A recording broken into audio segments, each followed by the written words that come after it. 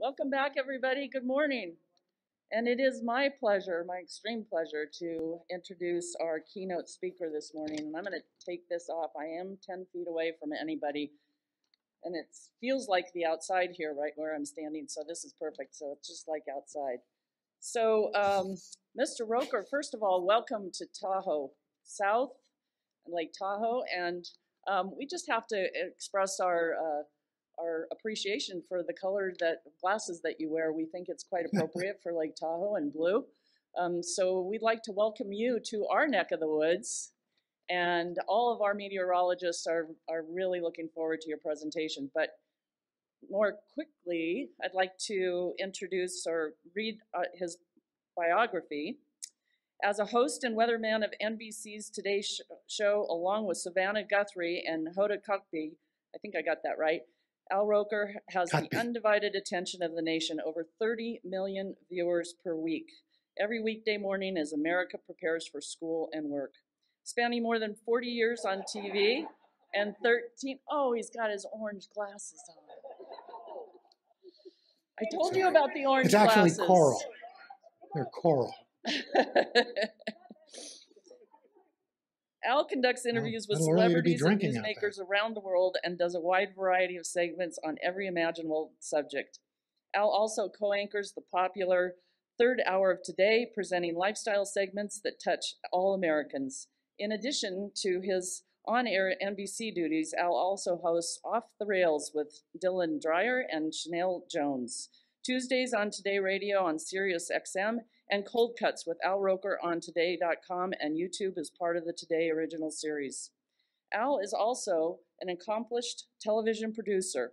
He is the owner and CEO of Al Roker Entertainment, Inc., creating a vast array of programs for cable, digital, social media, and home video. Notably, Al was the executive producer of the award winning Coast Guard Alaska and Coast Guard Florida series for the Weather Channel, now currently airing nightly on Pluto TV. As a best selling author, with 12 acclaimed books to his credit, Al's mystery novel, The Morning Show Murders, part of a three book mystery fiction trilogy, is now a TV staple airing on Hallmark movies and mysteries starring Holly Robinson Peete and Rick Fox. Al's latest and 13th book is slated for release on June 2nd, 2020.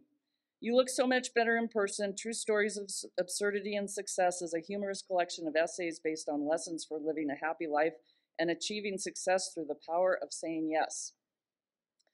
Al made his Broadway stage debut in Waitress the Musical to rave reviews in October 2018 at the Brooks Atkinson Theater in New York City, playing the part of Old Joe, the owner of Joe's Diner. He reprised this role in November 2019. Al lives in New York City with his wife, ABC correspondent Deborah Roberts, and has three kids. You can understand with a resume like this how fortunate we are to have him for just a little bit this morning. Mr. Roker, welcome to Lake Tahoe. Well, well thank, thank you very much. Uh, and, and th- thank you for that uh, really tepid applause. That was nice. Thank you. Uh, it was um, very special. Okay, so the drinking has started early. Very good.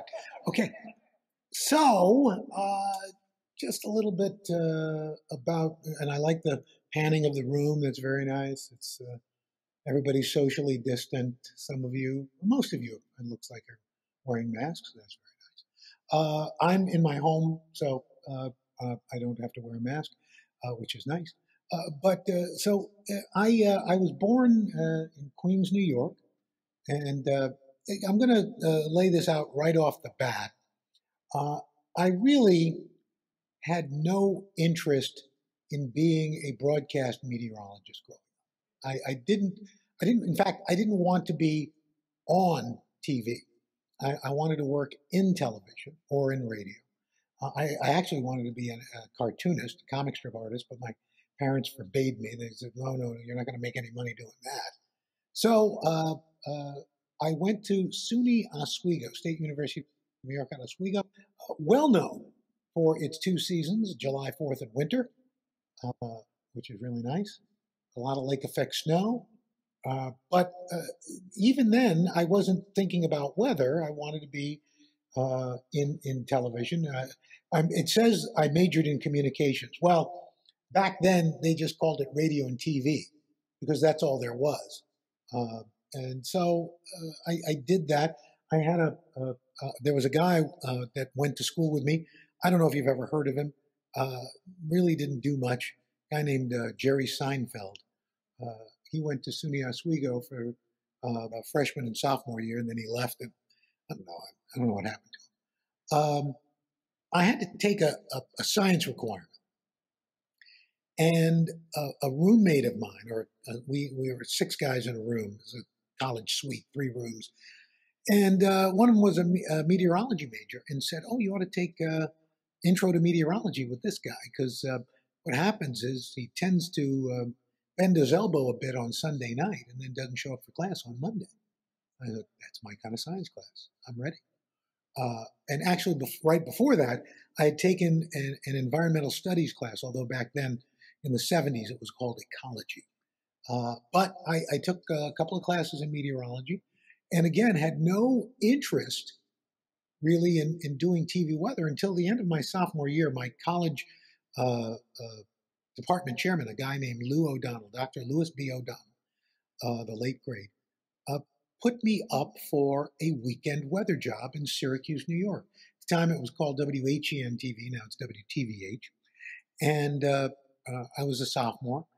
And, and I, like I said, I'd taken this meteorology class, and basically they were expanding the weekend news. They were going to actually do a 6 and 11 o'clock newscast for both Saturday and Sunday. And the news director, I said, Hey, you got any kids up there who might be able to do TV weather? Because I'm not paying much. I can only really afford a college student or a drunk guy. Um, I was in college, so I guess I fit the bill.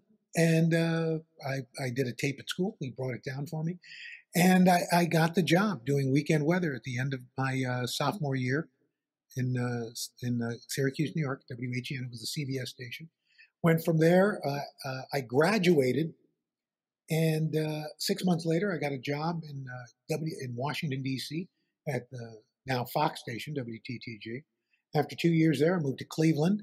I was back in Lake Effect Snow, right there on Lake Erie. worked there for five years. It was a great time. And then I got a weekend weather job at um, at uh, uh, W WNBC, and uh, it, it, it, that really, in a, in a sense, changed my life. Um, my uh, just a second, my my weather producer was calling me, and I don't know if there was a reason for that. Let's find out. I'm just going to check the. Uh, well, I guess there's no uh, there's no chat, so I'm guessing everything's okay. Anyway, um, uh, but here's the thing: um, I really didn't think I was going to be a, a, a broadcast weather person. I, I, don't call myself a meteorologist because I don't have a degree. Uh, I, I, have real world knowledge and you know over 40 years of doing this, but I do not have a degree. And I've, I've always been very clear about that. I've never called myself a meteorologist. Uh, uh, but you know, I, I got to uh, follow in the footsteps of and at WNBC Dr. Frank Field, uh, who was a legendary uh, broadcast meteorologist. And uh, while I was doing that, on, I was doing weekend weather, he left after six months and went to the CBS station, and I got the Monday through Friday job. And a couple of years going into that, uh, I started filling in for Willard Scott on the Today Show. Uh, 1987, I started doing the weekend Today Show, the Sunday Today Show, and uh, still doing the 5, 6, and 11 o'clock newscast. So I was working six days a week. And uh, toward the end of that, in uh, 1995, Willard decided to semi retire. And so for two years, I did the 5, 6 o'clock news and the Today Show. Um, and then finally, I did the, moved to the Today Show full time in uh, 1997. And um, it's it's been a it's been a wonderful, wonderful, uh, uh, gosh, 30 years now.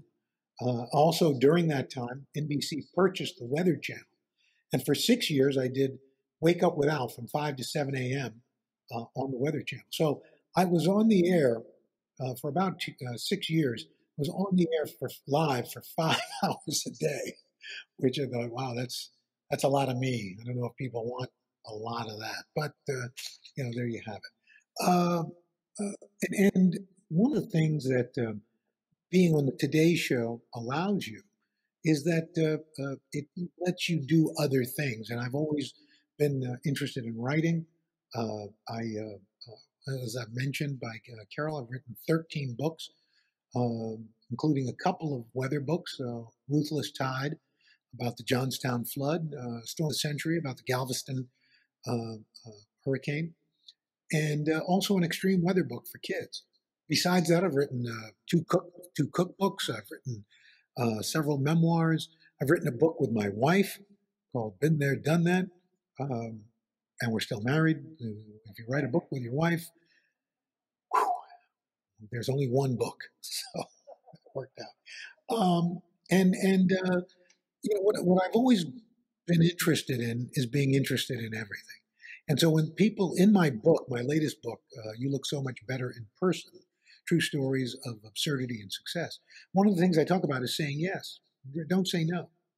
And uh, somebody, uh, my agent, uh, uh William Morris, uh, there's they have a theater division, and one of the uh, agents called me and said, "Hey, the producers of the play Waitress, the musical, would love for you to be in the play." And I thought, "Oh, you want me to be the hunky love interest, Dr. Palmer?" No, they really want you to play Old Joe, which is a little depressing. Your character's named Old Joe. But that said, uh, it was it was a wonderful experience. I took voice lessons, so I, I had one song, and uh, you know it was it was one of those things that I will uh, I will never forget. Uh, it was I got to sing a song, and, and in fact, um, my old and and Joe sings this song to um, uh, the, the, the waitress, and uh, and and it's he sees her as a as a almost like his daughter. And I have a daughter who's getting married in, in June, and she asked me if I would sing the song to her. So um, it's uh, I, am getting even emotional thinking about it. So it's it's kind of exciting. Um, you know, we we tend to share a lot about our lives uh, on, on, morning television, and uh, you know, I, I, years ago, about uh, in 2002, I had a had a gastric bypass. I was much bigger than I am now. I was at 340 pounds, and uh, now I'm around 190. Uh, but uh, I and I've had several joints replaced. I've had a shoulder, two shoulders, a knee, two knees actually, and a hip, and and we've shared that. Uh, but recently, during the pandemic, after the, uh, when we started to come out, I had decided to go get a checkup, and uh, my doctor said my prostate levels, PSA was up.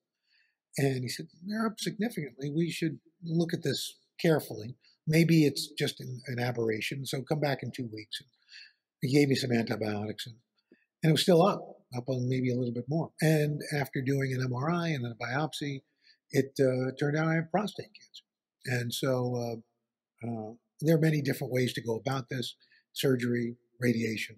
I decided to do uh, uh, radiation and uh, I mean, I'm sure. I'm sorry. I decided to do surgery, had my uh, prostate removed, and uh, right now it looks good. Uh, they took out the lymph nodes, and uh, uh, didn't see anything, and looked like the cancers contained to the prostate. So, I'm waiting for my next blood test, which was I, am about to take that, and if that comes back like below 0.5, that means my PS my cancer for the moment is gone. But I'm going to have to get tested every six months for the next five years. And if it stays clear, then I get uh, tested once a year uh, for the rest of my life. But that's uh, a small price to pay.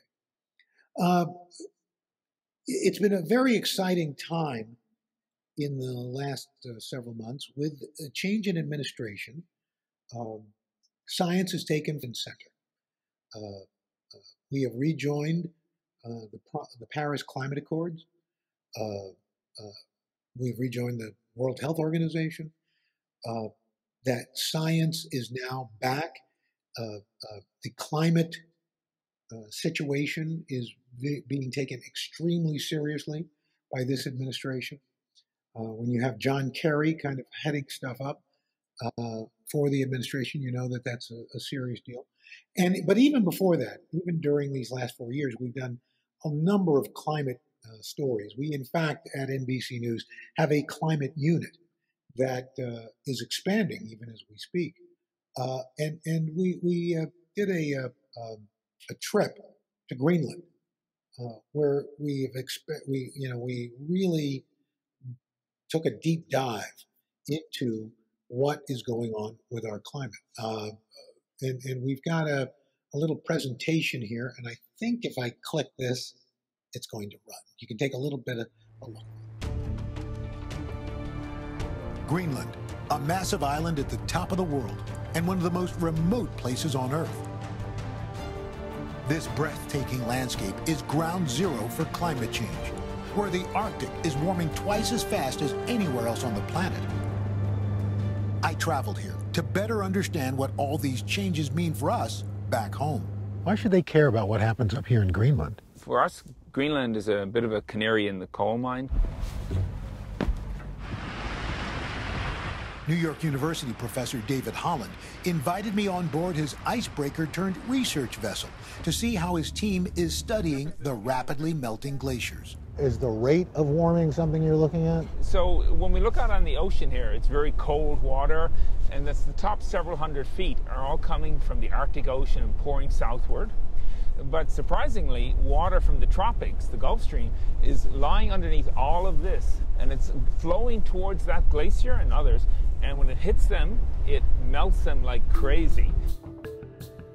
Our mission today retrieve, then redeploy a device that's been taking daily measurements of the ocean's temperature, saltiness, and depth. The warmer water on the bottom from the tropics is what's leading to a lot of melting of the glacier. Um, so it's important to keep track of that layer and how warm it is and how thick it is. Ah, there it is. Mm -hmm. It's up. Once we raise it from the deep, data is removed and batteries checked. And once you download all the data, then what do you do with it? So once we get the data off of it, we can plot it. Warm water was detected, but the actual rise in temperature and its effect will take a year to analyze. It's time to resubmerge.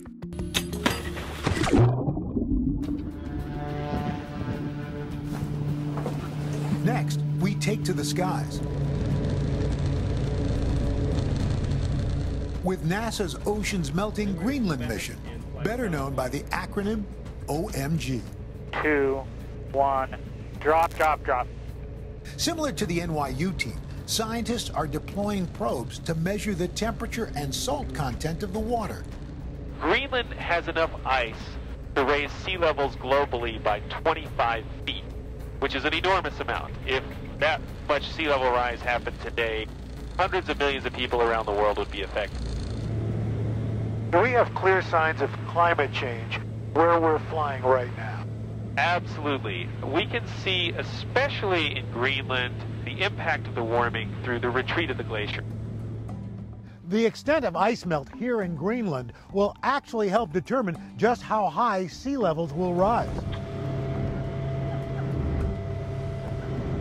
I ended my epic adventure on what's left of the Apasoyak Glacier with guide Nico Segreto.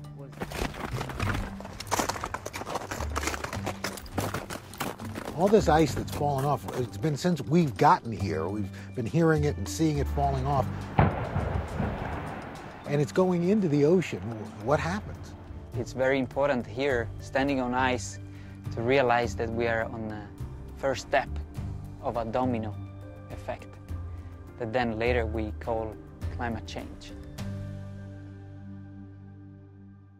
So, uh, you know, when you when you're there, uh, it, it really, and while we were there, we saw um, uh, some of the glacier calving, and you hear this sound and you see what's going on, and, and you realize uh, this really is one of these places that uh, is the canary in the coal mine. The Arctic is warming twice as fast as anywhere else on the planet.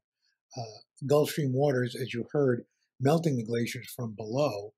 Uh, and the Greenland ice sheet is melting at an accelerating race, uh, rate. Uh, it lost 586 billion tons of ice in 2019, which which really shatters all records.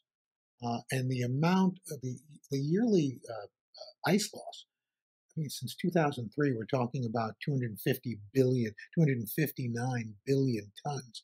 And, and in fact, you look at just two years ago, 2019, uh, even though this doesn't sound like a lot, uh, there was enough ice melt to raise global oceans by 0.01 inches. And, and that just sea level rise of one centimeter can, can have uh, really, really uh, tough, tough con- uh, consequences. So uh, we are watching this really uh, very closely. And, and as a lot of you probably know, last year, June of last year, June 20th, in Russia, 100.4 degree readings in Voronezh uh, 2019 was Alaska's hottest year.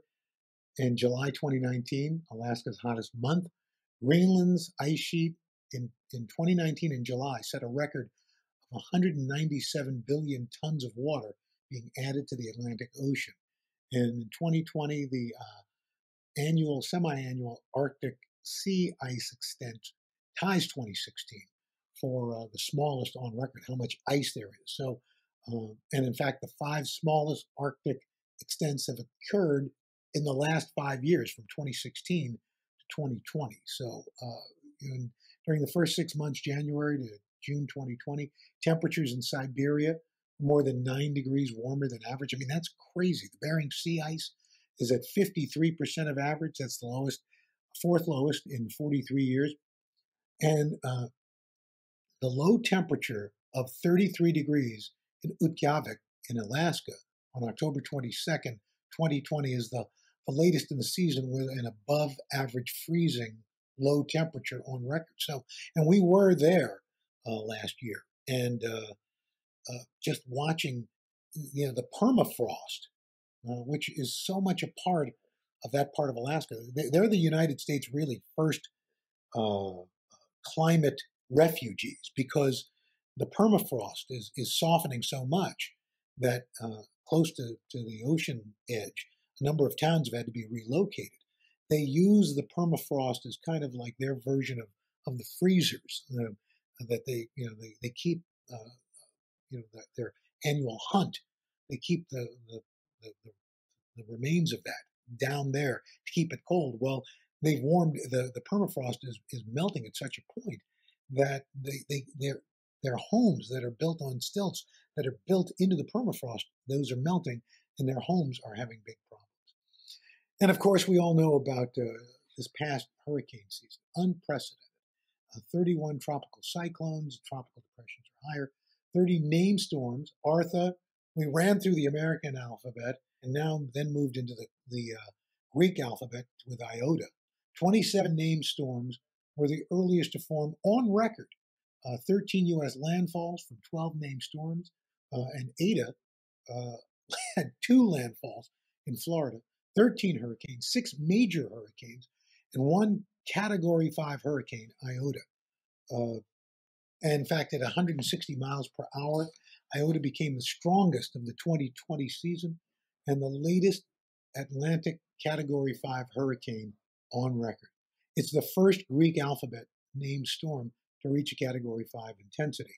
And uh, we've had five straight years now with category five hurricane in the Atlantic. That's the first time that has happened. Uh, and, and as we continue to look at how climate has had an impact on this season, 10 total storms uh, rapidly intensified in 2020. And you know that I don't need to tell you it's an increase of 35 miles per hour in 24 hours. Hanna, Laura, Sally, Teddy, Gamma, Delta, epsilon, zeta, eta, and iota. Uh, and, and, and, tropical cyclones are slowing down, and that's been producing increased storm surge and lo- longer duration rain. So these, these storms are overperforming, causing massive flooding. And, and the hurricanes are creating more extreme rain events. And, and there's no question that human activity is leading to stronger and more uh, uh, frequent tropical cyclones. But the good news is, as we mentioned, um, uh, this new administration, I think, is going to be better for climate. Uh, John Joe Biden uh, appointing John Kerry to be the U.S. Special Presidential Envoy for Climate, a climate czar, which is the first time we've had a cabinet level position that serves on the National Security Council and, and uh, helps leading the administration to that fight for global change. Uh, and, and even though the Trump administration did all these rollbacks, uh, we're hoping that those can be reversed. Uh, as I mentioned, uh, the Paris Climate Accord, we're now part of that again, uh, scrapping the Keystone pipeline on day one of President Biden's administration. and he's directing agencies, departments, reviewing and taking actions to address federal regulations, which was interesting because in the previous administration, they were rolling all those back. So uh, I think it's it's really important. This is coming at a very important time. We we saw during the pandemic, and, and again, it was a horrible way to achieve this, but a nine percent drop in uh, in uh, uh climate emissions, greenhouse gas emissions, and so uh, I think that's uh, something that's really important because we can. We've seen we can reduce those greenhouse gas emissions and and if we do it in a sustained way and a proper way, and it's a way to create economic uh, uh, upsides, I think uh, we'll be looking at something that's uh, going to be a, a, plus, a win-win, not only uh, not only from a climate standpoint, but from an economic standpoint as well. Uh, so I, I, think that concludes our planned uh, uh, portion of this. Uh, I'm going to open it up for anybody who's got any questions. Excellent. Well, thank you so much, Al Roker. I am on behalf of the Lake Tahoe Visitors Authority. We really appreciate your time. And we're going to open up the floor to our panelists as then as well as Facebook Live. So um, friendly reminder, please come up here and name and affiliation so we know who's talking. So I'll open up the floor now. Thank you.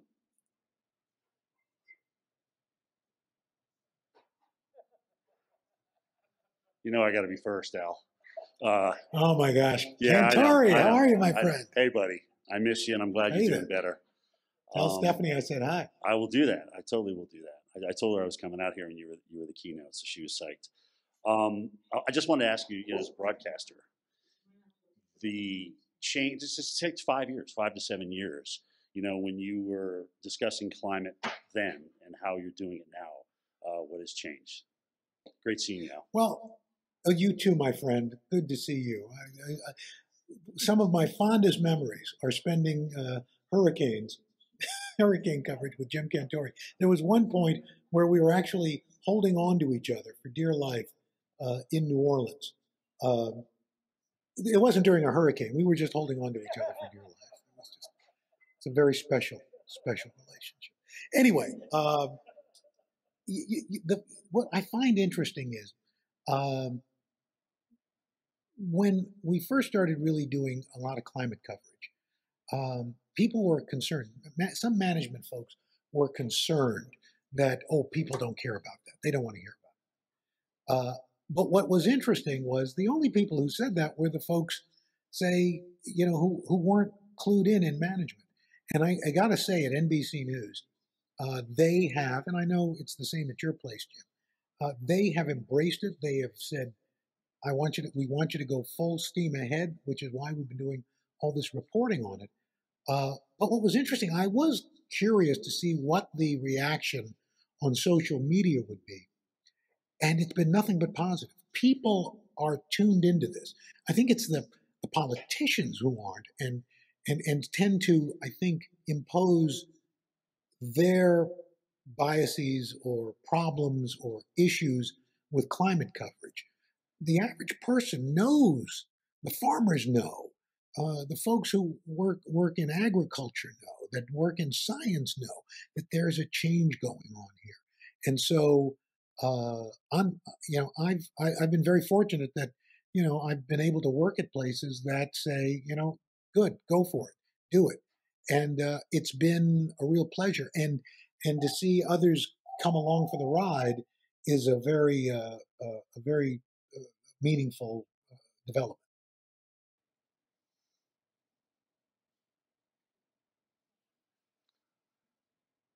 Okay, Mr. Roker, um, two questions. Uh, the first one, of course, uh, I think that uh, most people aren't aware, or may, or may be aware, that you got a fist bump from uh, President Biden at the inauguration. You want to tell us a little bit about that? And I have another quick question after that.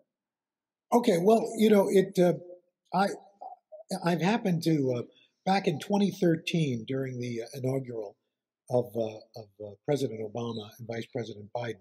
Uh, you know, I was I'm on the parade route and I'm calling out to them and and I asked Mr. President Obama how was he how was he feeling? Gave me a thumbs up. I said, how do you how do you like this weather? Because it was pretty cold. And he said, it's okay, it's all right. And gave me a, kept moving. And then Vice President Biden came along. And I went, Mr. Vice President, Mr. Vice President. And uh, to my shock, he runs over and shakes my hand. I'm like, what? Uh, uh, so that was uh, that was pretty special. And and that year, the inaugural fell on the same day as as celebrating uh, Martin Luther King Jr. Day. And uh, I got to tell you, for a, a, chubby black kid from Queens to be acknowledged by the first black president and have the vice president of the United States come over and shake your hand uh, was mind blowing. I was thinking my parents were both gone at that point, and I'm thinking, you know, wow, uh, that's that's special. So uh, uh we jump ahead to this inaugural, and uh, uh, everybody's like, well, maybe maybe he'll come over, maybe President Biden will come over. At that point, now the pressure's kind of on. I'm thinking, well, if he doesn't, now it's going to look pretty dumb. Uh, and uh, you know, he's walking up, and, and, he's got the whole family, Dr. Biden and his kids, and a couple of grandkids. And Mr. President, Mr. President, and uh, you know, he's he's almost like parallel with me. And he, I said, "How you feeling?" And he kind of waves to me, and I think, "Oh, that's it. He's gonna he's gonna move on." And then all of a sudden he broke off and came over, fist bumps. Said, we got to keep doing this. I said, all right, Mr. President. And how, how, are you feeling today? And he says, I'm feeling good. I said, all right, well, best of luck. And thank you, Dr. Biden kept going. So uh, that was uh, that was very special. It meant it meant a lot, and uh, he's been very supportive.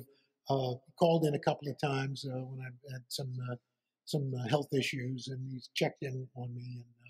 And so I, I'm, I'm not going to lie, I'm I'm a fan.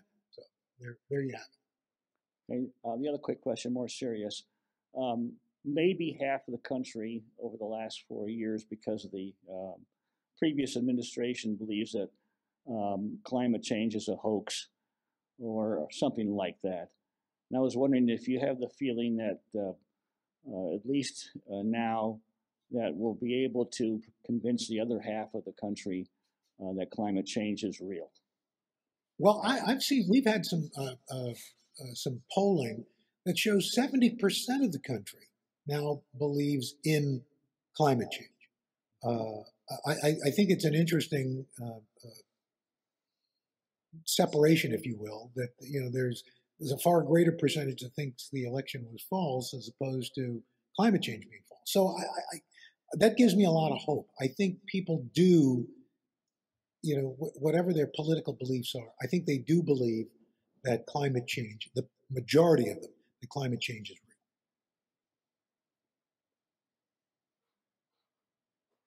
Hey, Al, it's Cheryl Nelson from Norfolk, Virginia. I have a question Hi, for you. I've traveled to the Arctic myself and did a climate change series. And it's interesting because when I was in Barrow, Alaska, the people, they're so passionate about their home, about where they live. And you were talking about the permafrost melting and how that's impacting their homes. And from your experience, what did the people seem to think about all of this? Because these people, in my mind, it doesn't seem like they want to leave, but did they tell you what they plan on doing and how it's affecting their lives? Well, you know, we were there in Utqiagvik and, and uh, we, we talked with the folks there. We also uh, talked with the scientists who are, are doing uh, uh, a lot of research up there. But the, the, the folks who live there, who are, were born there, who have been there for generations, I mean, we, you know, the, you know, still go out on the, the, uh, the traditional whale hunt um, you know, they, they see their way of life changing and they're, they're, they're somewhat helpless, you know, because there's really not much they can do. For example, you know, the, the whale, the bowhead whales, you know, that they go hunting. Now there are other uh, species of whales that are coming in that are uh, a little more aggressive, and it, it, affects the way you know. And you know they have to go out on the ice, and the ice is less stable. And uh, you know, it's it's it's really difficult. And, and when we were there in Greenland, uh, the the traditional dog sledding is going away because a the ice is going away, and b a lot of these folks can't afford to to keep their dog sled teams. So uh, you know the, the way of life is changing, and but they they feel somewhat helpless about how they can they can hold on to that way of life. Hi, Al. Kristen Samos with KCRA, the NBC affiliate out of Sacramento. And I think I'm the only person here who is not a meteorologist or a weather person at all. But I am based here in Tahoe, so inevitably I cover a lot of weather stories. And wanted to ask you, my question for you is uh, this year, back in November, we got a first big storm, still red flag warning. And we did a story about the fact that one storm does not make wildfire danger disappear. Similarly, this week we're finally getting a lot of snow here. And people tend to think in those times that drought is no longer an issue. What would you say just about the fact that even when we have this weather that is that is in our minds good weather, there are still those big challenges that we need to keep in mind? Well, look, the fact of the matter is, uh, uh, climate change means that you, you know it, it's not like okay, this is going to happen on on schedule. It just means that you're more likely to have these extreme swings in weather, and and that's what we're seeing. We're seeing these massive swings from drought to to you know, almost literally feast to famine or famine to feast, where we have all this drought, and then all of a sudden pattern changes, and now you're getting inundated with heavy rain or snow. So um, I think people have got to realize, and, and out where you are, uh, you know, the idea of a fire season is now almost quaint because there it just seems to stretch year long. So I, I think what people have to realize is that they are going to be whipsawed by by weather events uh, for the foreseeable future. We have a comment from our Facebook Live. So, what is your thought on a comment made with the increase in construction and increase of roads, the blacktop and dark coloring of them absorbing heat from the sun? Do you think if we changed roadways to white or concrete, would that help decrease or not? I, I don't I, look. I'm, I'm going to be honest. I don't. Uh, I can't say that. Uh, that's not my my uh, field of expertise, if I have any field of expertise. But I, I don't know that you know the, because, for example, where I live in upstate New York, we have uh, concrete uh, roads. Uh, some of the the inner parts of the interstate are, are concrete. So I I don't know that that's going to have a, a major impact.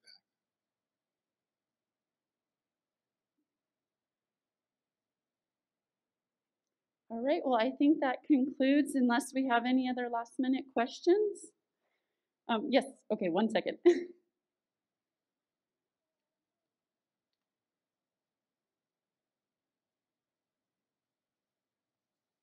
Hi, Al. How's it going? My name's Adam Epstein. I'm a meteorologist in Sacramento. How's it going? Hey, Adam. Good. Good. Uh, we You? met briefly once back in 2013 via Don Sunikas. He was giving me a tour of uh, the studios. I was trying to convince him to give me an internship for a position that didn't exist. So it didn't end up working out there, but I did work at WNBC that summer. This question is more of a career question for you. Uh, you've had a wonderful career, like you explained earlier. What would you give, or what advice would you give to a young meteorologist who one day wants your job? Oh, that's a little aggressive there. One day, one day wants your job. Just coming, just coming out. Why don't, why don't you do this? Go after Cantore, and then come in. He's in the Because- snow too see, much. Yeah, and, and by the way, if you've seen that video of Cantore taking out a guy trying to clown him, you wouldn't mess with Cantore. Nobody messes with Cantore. Uh, but that said, one of the things I would say is that uh, you, you need to be curious.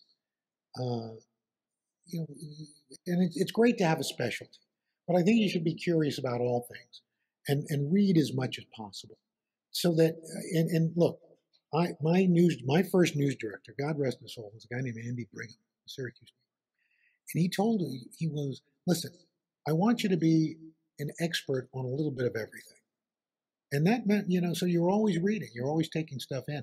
So that even if you're not, even if you're doing weather or meteorology or climate, that you can do and talk about other things. Because look, fact of the matter is, weather and climate impact almost every facet of our society. So you really need to know uh, a little bit, or should know a little bit of everything. And that, and, and if for no other reason, it just made you a more interesting person, I think. Uh, because if all you talk about, uh, I, I don't know if any of you, how many of you have seen the Disney movie or the Pixar movie Soul that just came out with uh, Jamie Foxx as the lead, who plays a, a jazz pianist.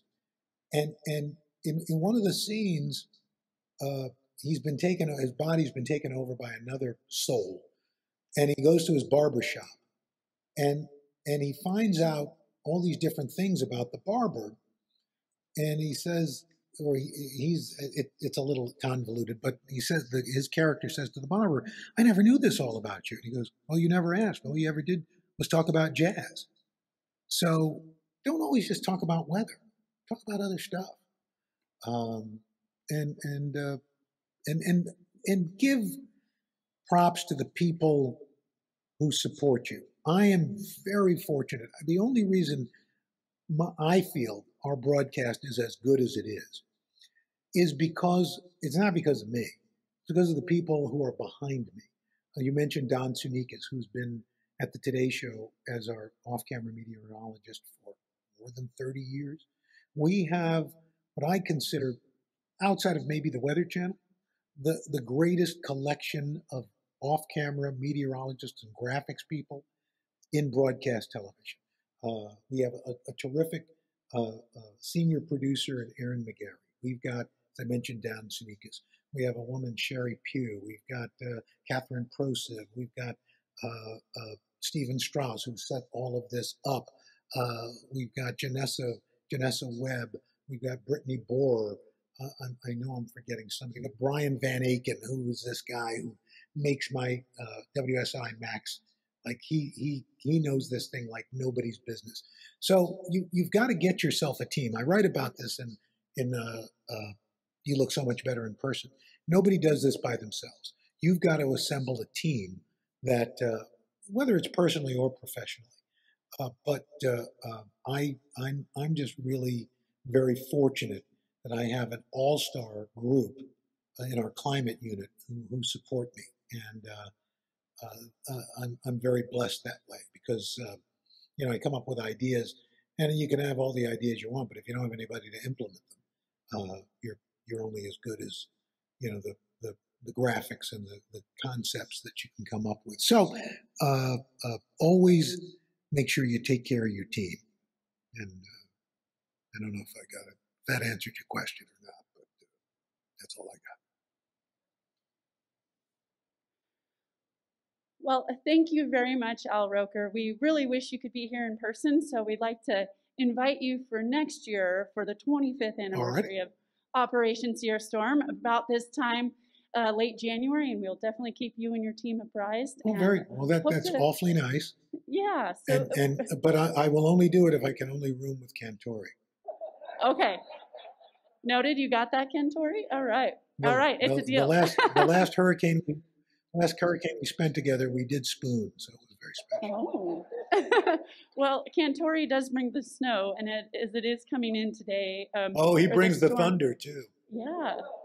and I, I, think his quote from the last time he was out here it was his best day on the mountain, or one of his best days working. And so look to up the ante for this coming week with all the snow. So Thank you again to all that tuned in, and thank you for our meteorologists being here in person, physically distant, and wearing masks. And on behalf of the Lake Tahoe Visitors Authority, um, and here at the team at Hard Rock Inside Vinyl, we really appreciate your time and and your presentation and your commentary. So thank you so much again, and we look to see you in person next year. You bet. Take care.